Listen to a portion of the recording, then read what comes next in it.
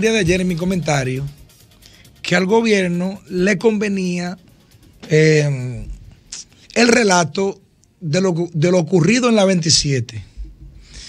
Pese a que por más que defendieran el tema o que acusaran el pasado o que acusaran a quien quisieran o que dijeran que de 23 años solamente tres son responsabilidad y que los demás 20 no lo son, los dos aguaceros, el del 2022 y el 2023, ambos le cayeron a este gobierno y todo el desastre le ha caído. Pero que le convenía, decía yo, más este relato de lo ocurrido en la 27 que lo que estaba ocurriendo en el país. Porque allí ocurrió que murieron nueve personas, pero en todo el país han muerto más de 20 personas hasta el día de hoy contabilizado por el COE, que cuando terminen de contar se darán cuenta que son mucho más de 30 porque los reportes que uno recibe de las diferentes provincias es evidente que hay muchos, pero muchos problemas. Y yo estoy preocupado, Domingo, Fafa, Ivón, yo vine, eh, yo estoy preocupado con lo que está pasando. Porque nosotros venimos de palcho en palcho con el tema económico. Y esos palchos, finalmente, parches, muchas gracias, parches, terminamos pagando nosotros la cuava. Ejemplo, el tiempo que duró la frontera cerrado, todo ese tiempo que duró la frontera cerrada, de manera así eh, abrupta, diríamos, se perdieron más de 40 mil a 50 mil millones de pesos en ganancia al Estado por concepto de las ventas que se hacen en, todas, en, en todo el entorno de la frontera. Anote ahí 40 mil, 50 mil millones de pesos.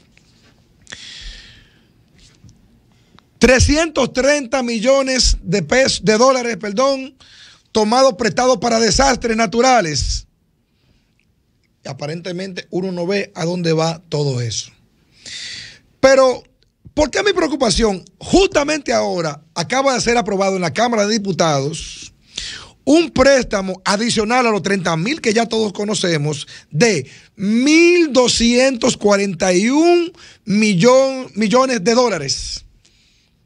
La mitad de eso para tapar hoyos fiscales.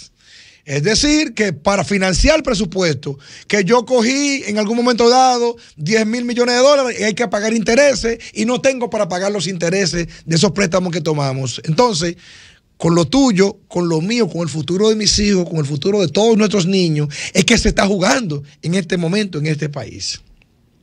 Pero el país está lleno de desastre. Dejamos de ganar 40 mil o 50 mil millones de pesos. Pero ahora, como explicaba Domingo ahorita, con, todo este, con todos estos daños ocurridos, miren,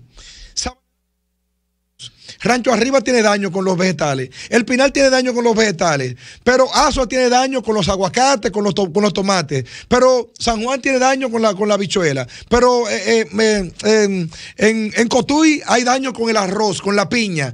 Estamos diciendo que estos daños en el día de hoy, que según el propio gobierno lo acaba de cuantificar en más de 5 mil millones de pesos, no solamente es el daño actual, es el daño que le va a hacer a la economía en diciembre. La economía en diciembre va a tener un faltante de productos y eso va, a causar que el que tenga esos, esos, esos vegetales o esa bichuela lo va a poner más caro. ¿Y sabe quién va perdiendo en esa jugada? Va perdiendo usted voy perdiendo yo. Eso no es un tema de partido, eso no es un tema de gobierno.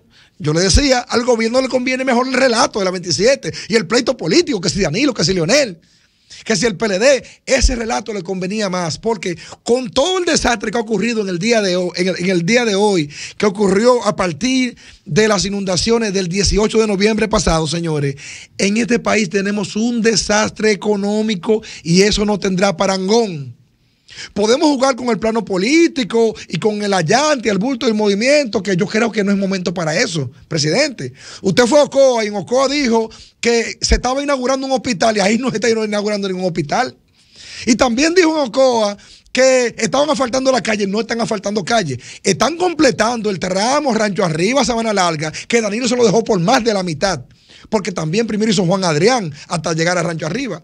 Y la gente sabe, porque ese pueblo no es tonto. Yo creo que esto es un momento que debemos de sentarnos todos y debemos ponernos de acuerdo para ver cómo ayudamos a este país a salir del atolladero que está. Yo creo que el desastre natural que ha ocurrido en la República Dominicana este 18 pasado no es nada comparado con el desastre que dejará el gobierno de Luis Abinadel cuando culmine este periodo.